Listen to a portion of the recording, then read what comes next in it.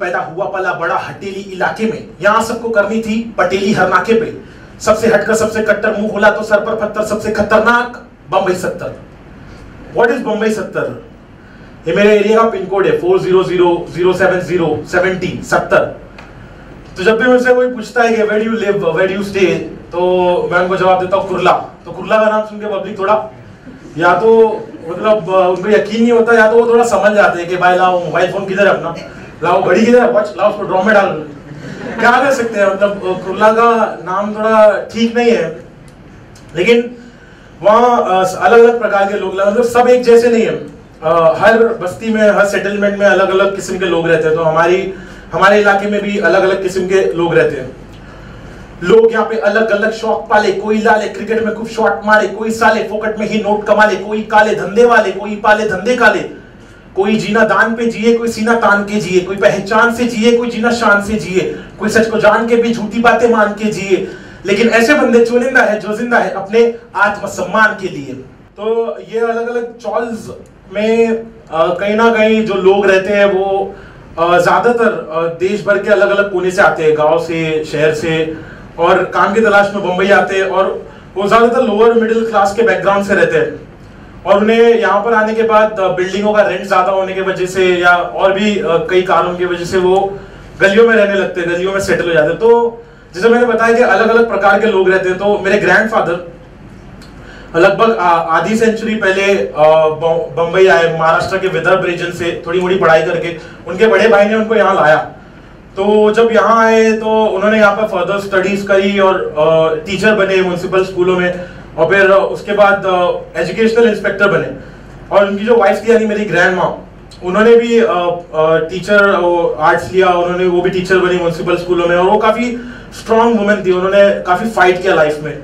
तो वो पढ़ाती भी थी, और घर भी चलाती थी ड्यूटी भी करती थी, घर पे आके बच्चों को भी परवरिश वगैरह, उनकी चार औलादे, पाँच औलादे थी, जिसमें से चार आंटी मेरी मतलब लड़कियाँ, मेरी पुप्पियाँ, वो भी टीचर्स और मेरे डैड अकेले लड़के, उनका अकेला लड़का मैं तो शॉर्ट बहुत बिल्ला है।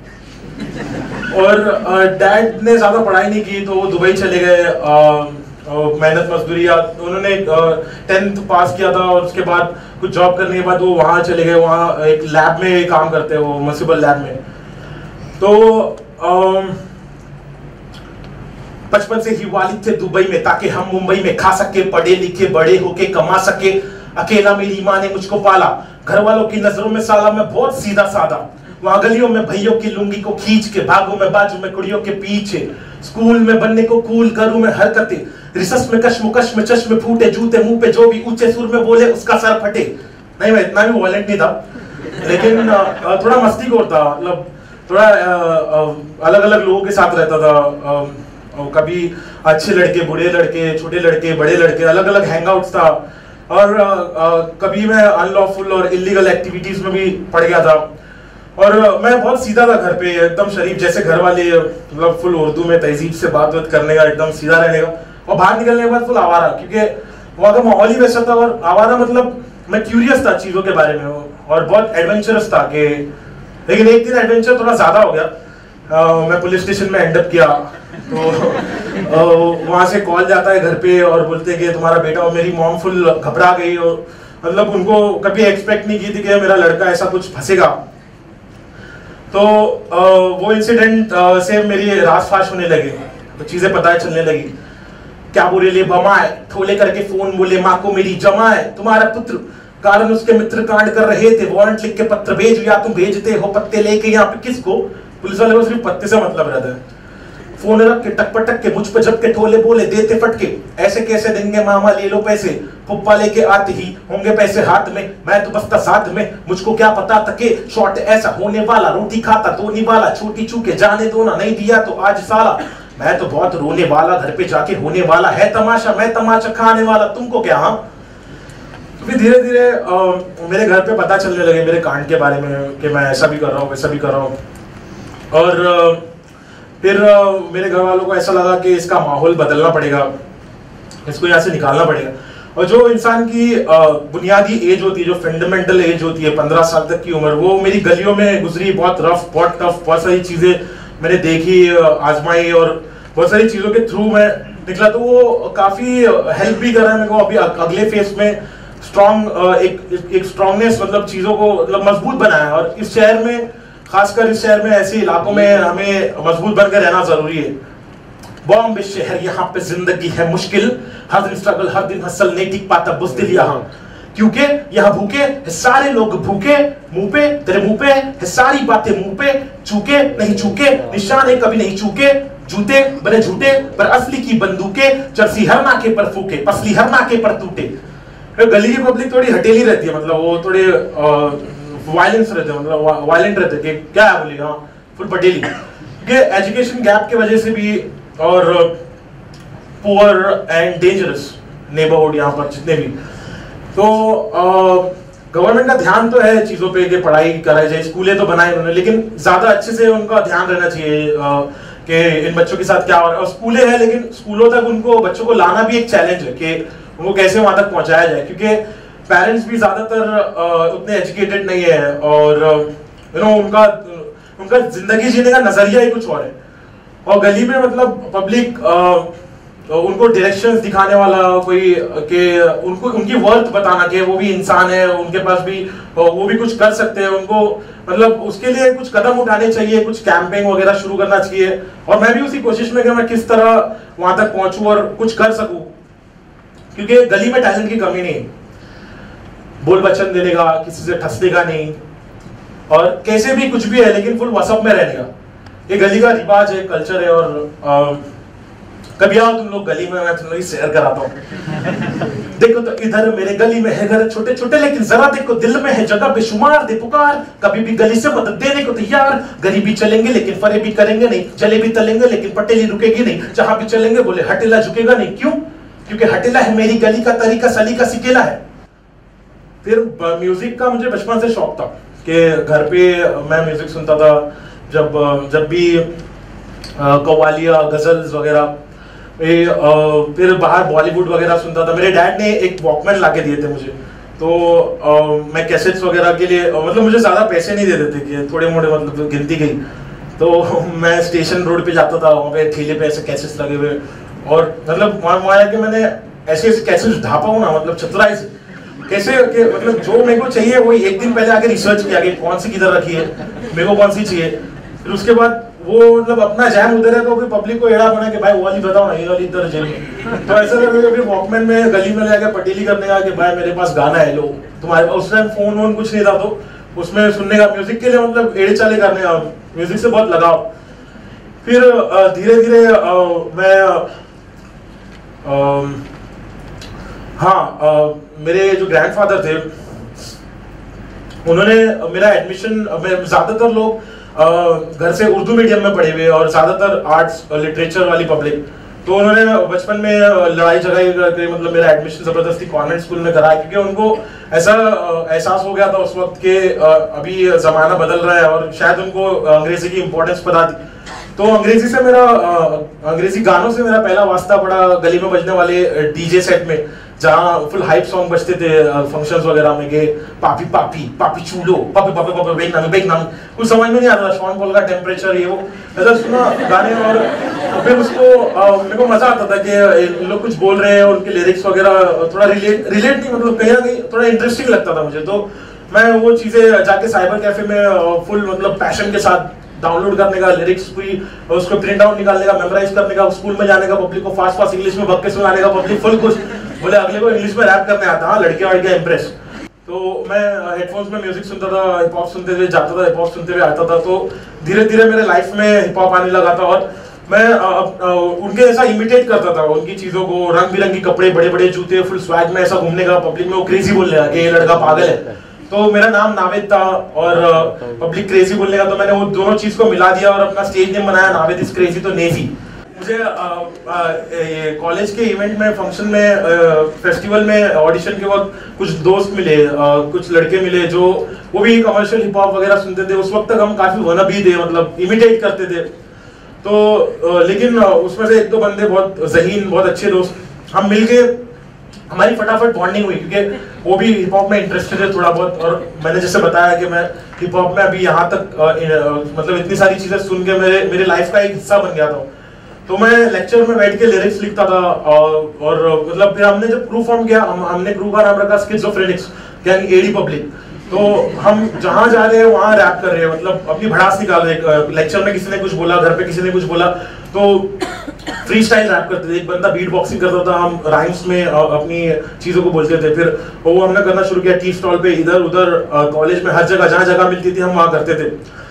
फिर फिर मैंने हिप हॉप को गहराई से सुनना शुरू किया। तो मुझे पता चला कि जो यूएस में न्यूयॉर्क में जहाँ इसका जन्म हुआ और पूरे देश में जो ये वेस्टर्न कल्चर है जो, जिस वजह से इसको ईजाद किया गया था हिस्टोरिकली अगर देखा जाए तो जो वहाँ के रैपर्स थे, उन्होंने जिस बारे में बात की तो मैंने सब गहराई में किया तो मुझे पता चला कि वो काफ़ी कुछ मैं रिलेट कर सकता हूँ। उन्होंने लाइफ के बारे में बोला, उन्होंने ज़िंदगी के बारे सोसाइटी के बारे में, अन्याय के बारे में कम्युनिटी के बारे में, बदलाव के बारे में।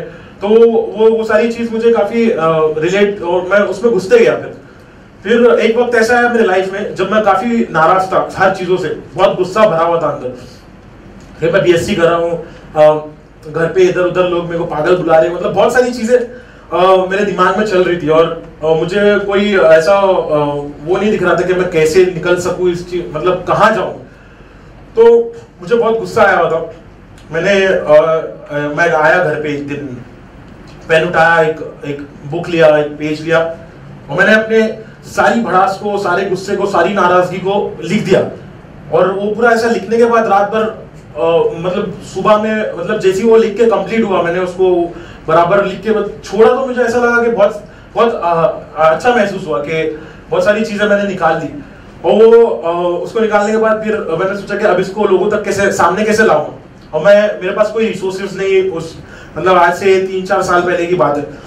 तो कोई कॉन्टेक्ट नहीं म्यूज़िक में ना इधर ना उधर। मेरी कौन हेल्प करता? मैंने सोचा ये सारी चीज़ अब मेरे को खुद ब खुद ब खुद करनी पड़ेगी और चीज़ें होने लगी ऐसा लग रहा था कि सारा सब कुछ फिक्स्ड है।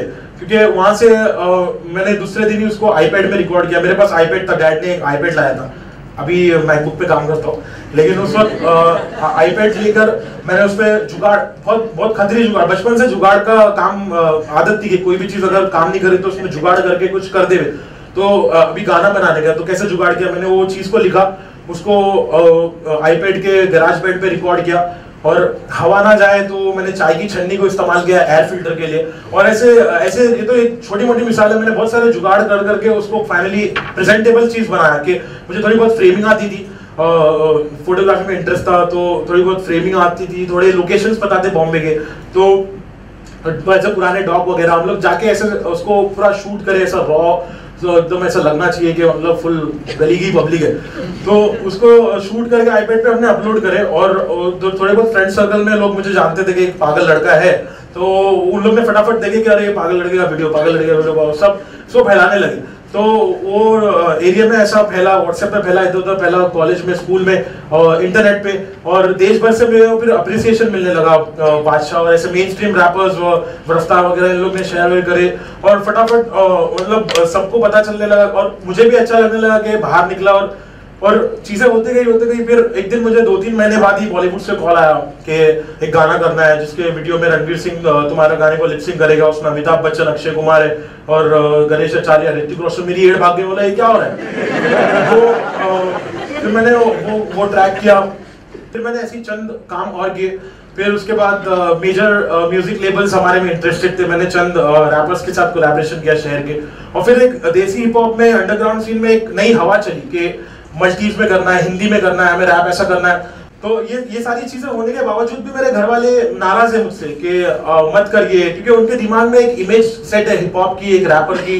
वो जैसा टीवी पे देखते हैं कि हाफ़ नेकेड वुमेन है और बियर बॉटल्स और ये वो फुल नेचुरली बबली एडे चाल तो वो बोलेंगे ये हमारा कल्चर नहीं है और इधर तू कहाँ घुस रहा है। उनको थोड़ा वो डर है कि मैं पता नहीं क्या कर बैठू और और उनको पता नहीं, बहुत बहुत फिक्रमंद है मेरे बारे में कि मैं अलग लाइन में ना लग जाऊँ क्योंकि थोड़ा डरते हैं वो चीज़ों से। तो मुझे बहुत मना कर रहे हैं सारे, लोग अगेंस्ट उनके फ्रेंड्स उनके रिलेटिव्स मेरे खानदान वाले सारे लोग मिलके।